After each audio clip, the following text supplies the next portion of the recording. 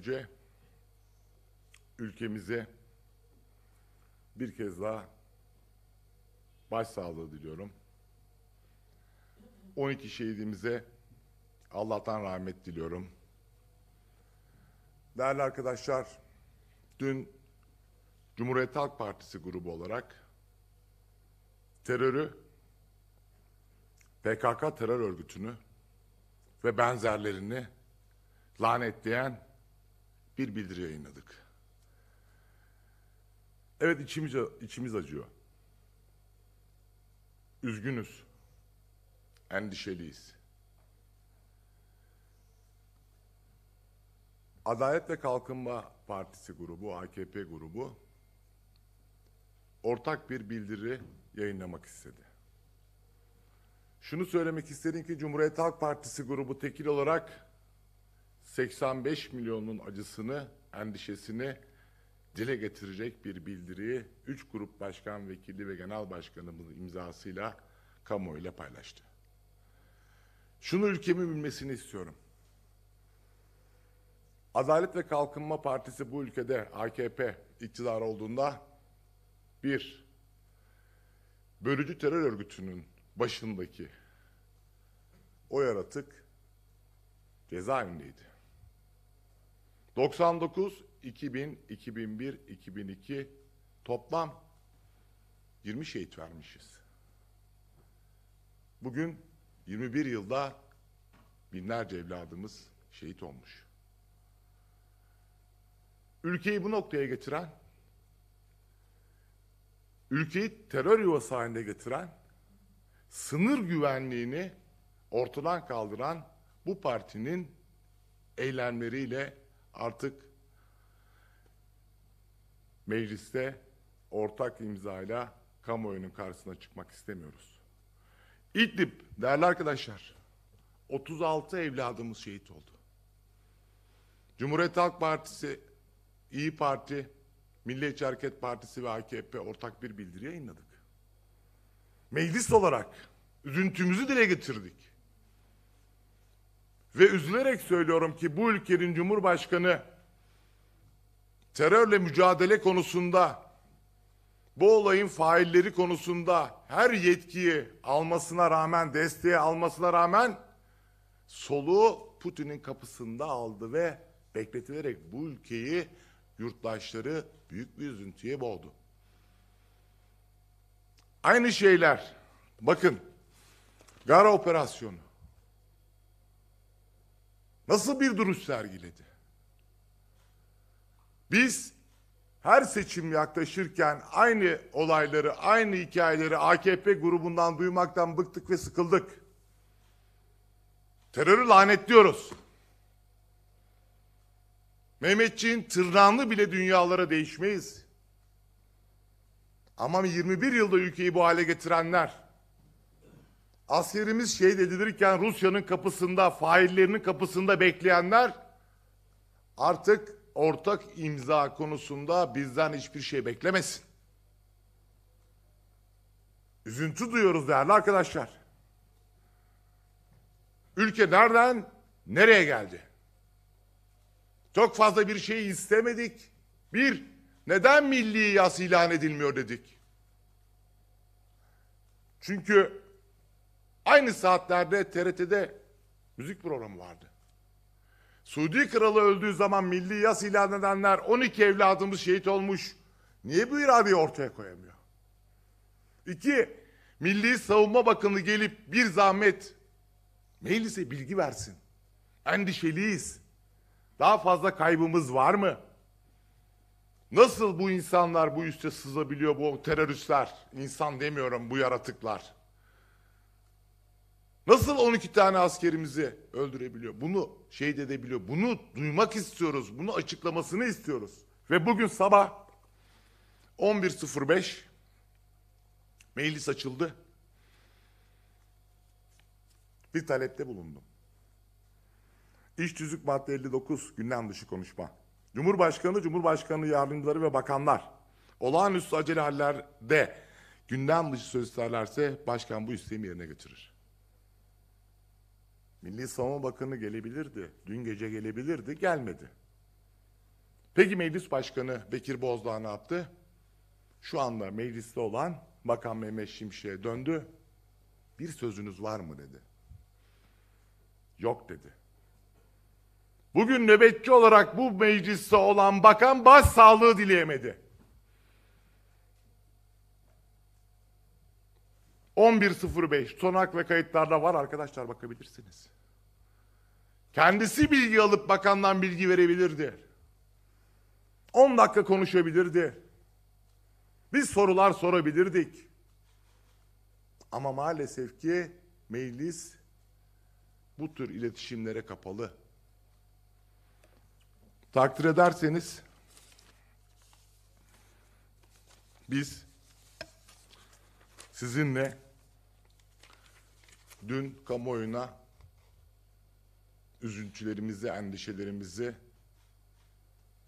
açıklayan bildirimizi yayınladık. Dört partinin imzasından fazlası var. Artık algılarla bu olayın üzerine gidemeyiz. Şehitlerimiz ve terör seçim malzemesi olmayacak kadar önemli ve mühim bir konudur. Hiç kimse bu ülkedeki şehitleri terör meselesini seçimler yaklaşırken bir algı operasyonu haline getirmesin. İşte 14 Mayıs'ta gördük. Bizim paramızla, iletişim başkanlığının parasıyla kara yılan denen alçağın görüntüleriyle sahte videolar yapıldı. Biz bunu istemiyoruz. Biz meselenin özünü ve gerçeğini parlamentoda konuşmak ve çözüm bulmak istiyoruz. Her seçim yaklaşırken aynı hikayeleri bu ülkede görmek istemiyoruz. Şehitlerimiz 85 milyon ve bizim için kıymetlidir. Bakın, utanma sıkılma olur. Enes Budak, Manisa'nın şehidi. Genel başkanımızın yakını ve resimlerini paylaşıyorum. Bakın. Neyi konuşuyorsunuz siz? Mersin'de ben canımı şehit olarak vermişim. Gelmişsiniz burada kimi suçluyorsunuz siz? Bir bakandan bilgi almak istemek çok mu bu mecliste? Kapalı oturum yapalım dedik. Bütçenin maddelerini görüşüyoruz arkadaşlar. 12 şehit vermişiz. Bunun üzerinden şununla mı yaptınız bununla mı? Hayır Cumhuriyet Halk Partisi bireysel olarak tekil açıklamasını yapmıştır. Tepkisini ve önerilerini ortaya koymuştur. Cumhuriyet Halk Partisi ne DEM ne AKP ne de bir başka parti bu konuda hassas konuda iradesini ortaklaştırmak zorunda değil. Hiç kimse AKP'nin kirli siyasetine, yanlışlarına 21 yıldır ülkeyi getirdiği noktaya ortak imza atmak zorunda değil. Bu vatan, bu bayrak, bu şehitler hepimizin. O yüzden ülkeme, yurttaşlarıma sesleniyoruz. Üzüntülüyüz, acılıyız, sinirliyiz, endişeliyiz. Ve buranın çözüm yeri, e, bu sorunun çözüm noktası da meclistir. Bakan da gelip burada bilgi vermelidir. Kapalı oturumda da konuşmalıyız. Söyleyeceklerim bu kadar. Sorularınız varsa yanıtlayacağım.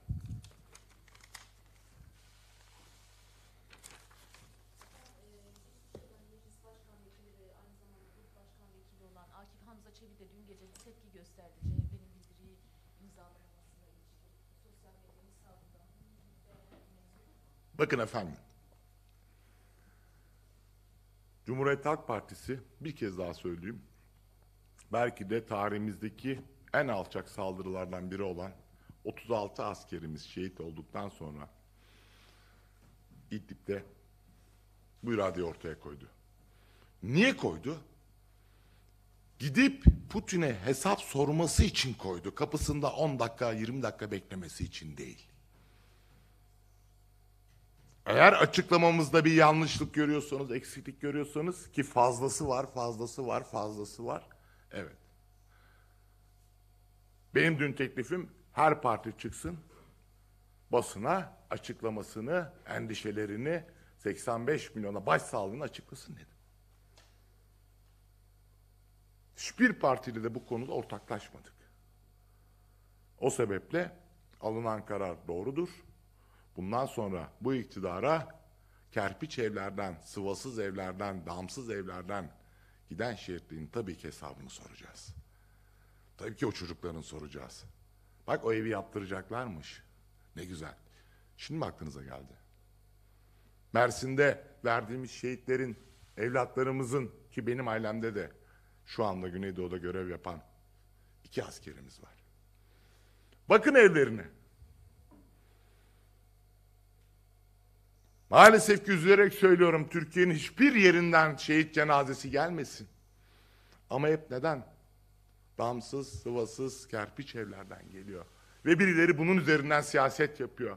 Birileri onun katillerinin videosunu paylaşacak kadar seçimlerde alçaklaşıyor. Tüm bildirilere biz bugüne kadar destek olduk.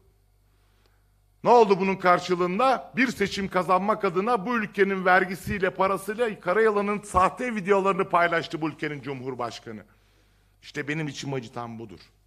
Benim şehitlerim, bir şehit için bırakın makamı, bırakın o Cumhurbaşkanlığı koltuğunu, dünyayı yıkarız. Olaya bu açıdan bakın efendim. Biz Cumhuriyet Halk Partisi grubu olarak artık bireysel açıklamamızı yapacağız ve AKP grubuyla asla ortak bir imza atmayacağız. Herhangi bir şerhiniz yok. Dün akşam yayınlanan meclisin e, bildiris, bildirisinin içeriğine dair. Asla efendim. Asla. Ne olabilir?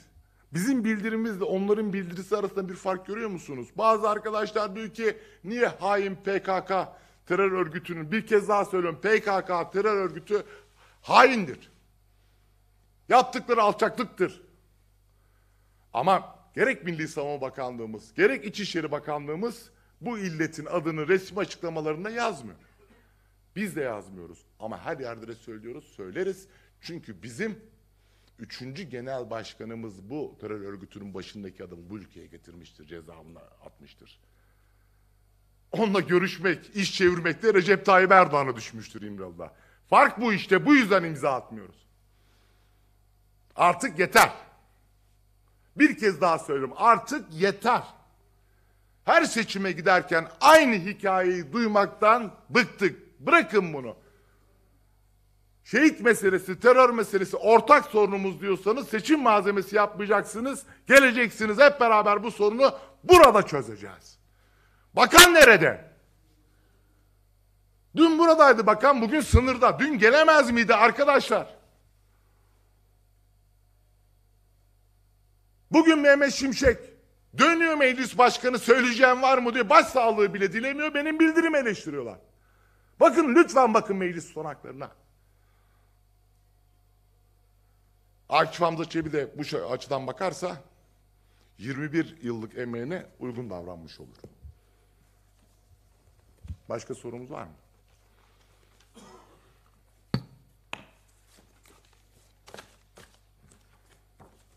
Teşekkür ediyorum.